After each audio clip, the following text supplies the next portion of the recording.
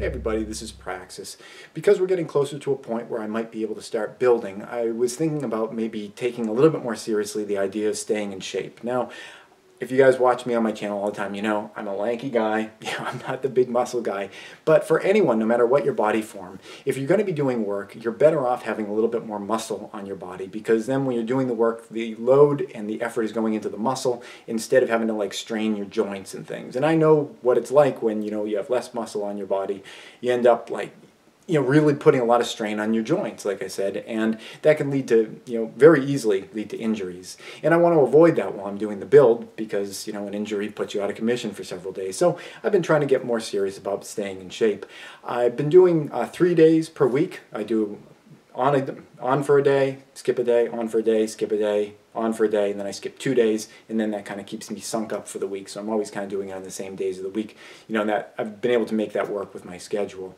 The types of exercises that I'm doing are, you know, kind of uh, not high impact kind of stuff, but just stuff to really uh, get the muscles you know, exercised, stretched, and, you know, keeping them to some degree of strength so that I can actually use them. Uh, and I'm trying to do exercises where I'm, uh, you know, lifting a load and then like holding it in that position for a little bit and then releasing. And I think that that's probably just good for your body in general, but it's also uh, really good uh, as a sort of preparation for doing construction work because you know when you are doing construction work you're lifting up some boards and you don't just like dead drop them to the ground and scream as soon as you lift the boards up. You like lift the boards up and you have to hold them for a while while you carry them somewhere. So I'm trying to do exercises that are sort of emulating that.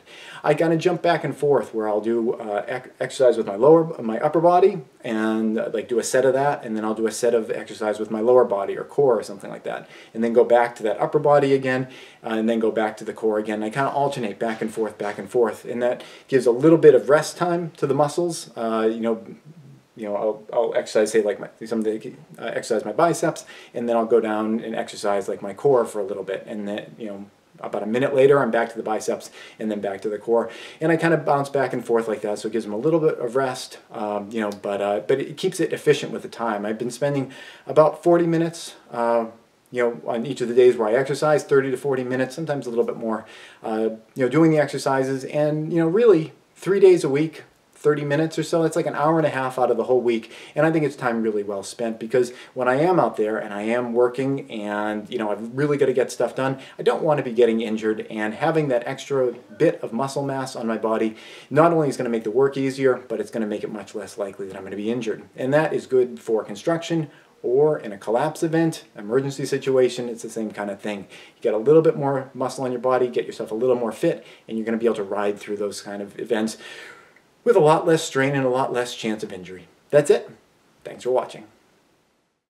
Please subscribe and tune in every Friday at 4.30 New York time for a new video. And if you'd like to support this channel, you can do so both through Patreon or PayPal.